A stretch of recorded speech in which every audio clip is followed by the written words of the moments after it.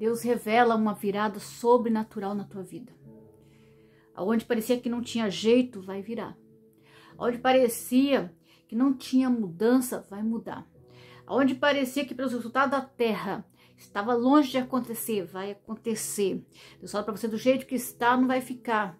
Se prepare porque vai ter uma virada tão grande que vai mudar até onde você não imaginava. Até onde você não imaginava vai ter mudança. Uma grande bênção vai chegar na tua vida. Uma grande bênção vai chegar na tua história. Você não está aqui em vão nem por acaso, queridos. Você não chegou aqui em vão. Deus marcou essa data. Deus marcou esse dia, Deus marcou essa hora para falar com você. Vai ter uma grande virada e vai ser uma virada sobrenatural. Sabe o que é uma virada sobrenatural, queridos? Quando os homens na terra, quando a terra não tem resposta, quando é não.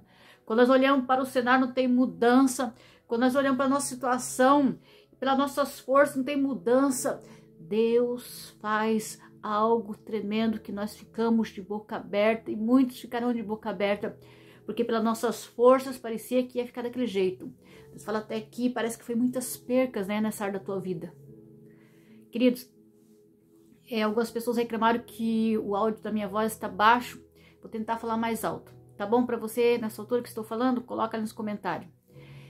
Eu vou tentar falar mais alto. Deus, ele vai fazer uma virada tão grande que alguém vai olhar e vai dizer: Isso é sobrenatural. Isso só pode ser coisas de Deus. Isso só pode ser a mão de Deus. Se vai ser a mão de Deus. Oh, aleluia, Deus. Vai ser a mão de Deus. Vai ser a mão de Deus nessa área da tua vida. Vai ser a mão de Deus nesse cenário. Vai ser a mão de Deus nessa vida sentimental. Vai ser a mão de Deus nessa vida financeira. Vai ser a mão de Deus nessa saúde.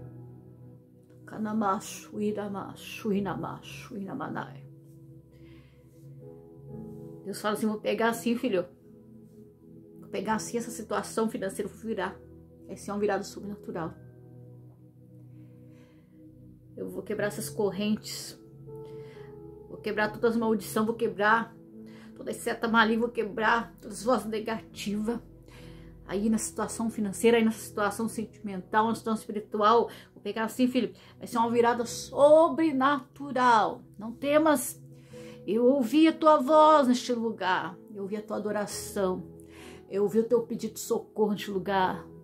Talvez muitos olhem o teu pedido de socorro e ainda acusa, diz, tá ali porque merece, tá ali porque não se esforça, tá ali porque não faz o melhor, tinha tudo, agora não tem nada, ou já conseguiu algumas coisas, mas agora perdeu. Deus fala para você, tudo que saiu da tua vida, das tuas mãos, vai voltar melhor.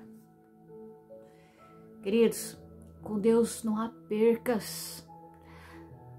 Até há deserto, até há dificuldade, até tem dia de choro, mas com Deus não há percas. Com Deus a restauração, a restituição, a transformação. Deus sabe, você levanta tua cabeça, porque o que saiu da tua vida não foi percas, porque vai ser melhor. A porta que fechou, talvez você fique aí triste, até deprimido, porque fechou aquela porta, porque alguém fechou aquela porta para mim. Deus fala: Não, filho, não. Você tem um pai, a porta fecha aqui, eu abro outra melhor ali, você vai entender na frente. Quero te contar um pequeno testemunho. Pequeno, mas foi algo assim que Deus fez na minha vida. Eu trabalhava numa empresa seis anos. De repente, aquela empresa começou a, a mandar as pessoas embora porque a empresa estava passando por uma situação financeira. Mas eu esperava que eu não ia ser mandada. Eles falaram que eles iam ficar só com algumas pessoas, só algumas pessoas que eles iam precisar. Mas eram muitas pessoas ali, acho que eram 3 mil pessoas.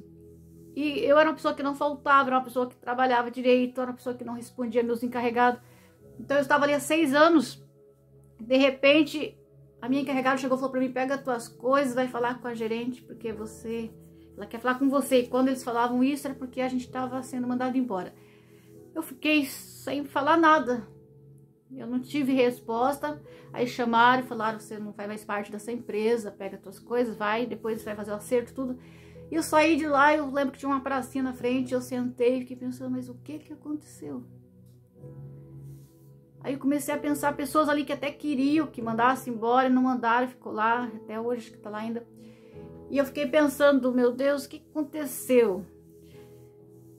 E um dia eu estava na igreja, num culto, e eu comecei a falar para Deus, o que, que aconteceu? Será que eu magoei alguém? Será que eu não fiz direito? Será que eu não fui uma boa funcionária? O que que deu? Será que eu dei mau testemunho? E Deus falou comigo, ele falou, eu não queria você mais lá, eu tenho outro projeto para você. Eu tenho outro lugar. E passado três meses, eu comecei a trabalhar em outra empresa.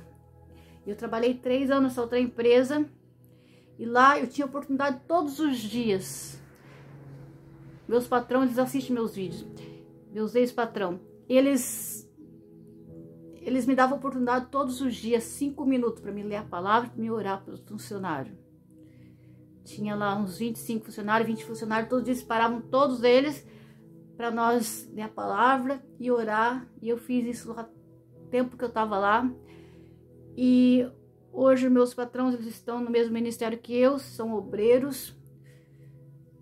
A minha patroa, ela é professora de mulheres da estudo. Então eu entendi que Deus ele tem um propósito nessa vida. Muitas vezes nós falamos, meu Deus, por que aconteceu isso? Por que tudo isso aconteceu, queridos? Deus é fiel. Não temas, aquilo que saiu das tuas mãos vai vir melhor.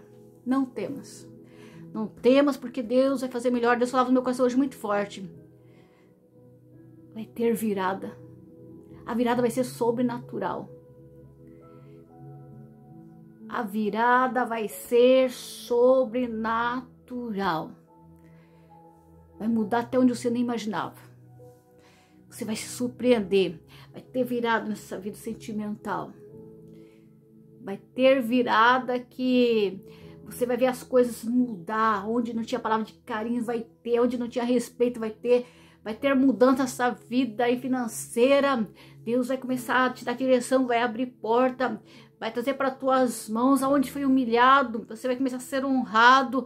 Não temas pelo resultado de hoje, não se desespere pelo resultado de hoje. A palavra de Deus fala que Jó tinha de tudo, de repente, ele começou a perder tudo. E quem olhava para ele dizia, deve ter feito alguma coisa errada. A esposa dele falou, amaldiçoa esse Deus e morre. E a palavra de Deus ali fala que Jó, ele apenas adorou a Deus. Ele, quando todos começaram a falar, perdeu, era feliz, era próximo e agora perdeu tudo, tá ali, ó, deveria até morrer, como a esposa dele falou para ele. Mas a Bíblia fala que Jó adorou. E Jó falou, Nu eu vim para essa terra e nu vou sair. Bendito seja o nome do Senhor, meu Redentor vive. Queridos, Deus, Ele cuida de você em cada detalhe. Deus está vendo você aí. Deus tem algo grande para tua história. Tudo isso vai passar. Tudo isso tem um final. Com Deus tem um final. Deus fala para você, filho, não tem ponto final agora não. É uma vírgula.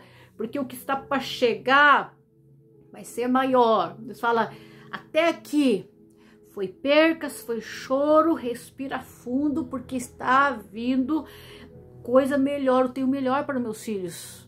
Eu nunca deixo sair algo das tuas mãos para te humilhar, para ali na frente você sofrer mais. É porque algo grande está chegando. Não temas, não abaixe tua cabeça pelas vozes negativas, não.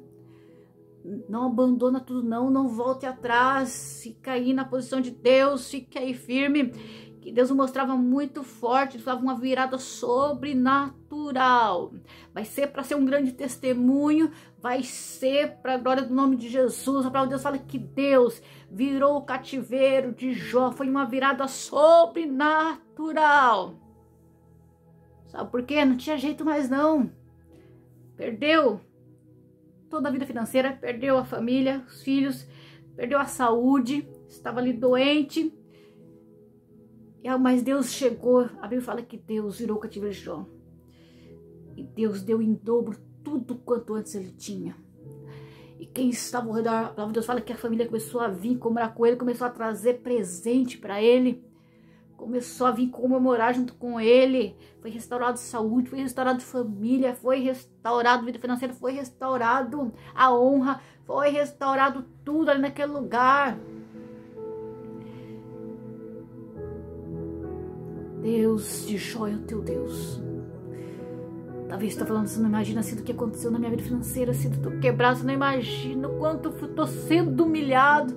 Você não sabe o que está acontecendo na minha vida sentimental, tô sendo humilhado, sabe o que está acontecendo? Deus fala para você hoje, eu sei.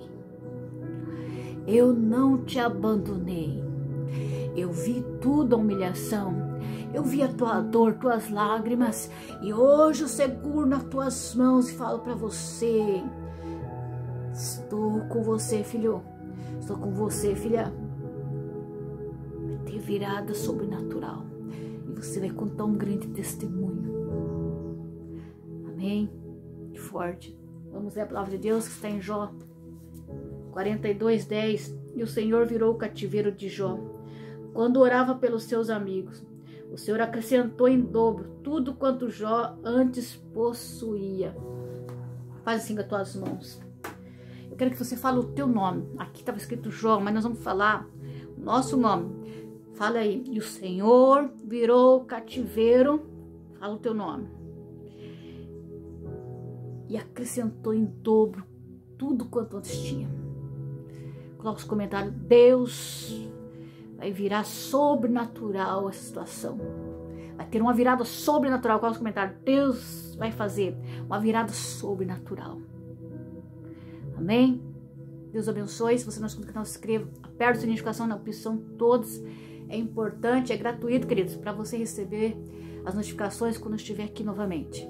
Amém? Todos os dias, estou aqui às 13 e às 18h20. Deus abençoe, fique com Deus. Estou orando por vocês, estou apresentando vocês a Deus. Estou falando de vocês para Deus nas minhas orações. Tenho um amor muito grande na minha alma por vocês. Deus abençoe.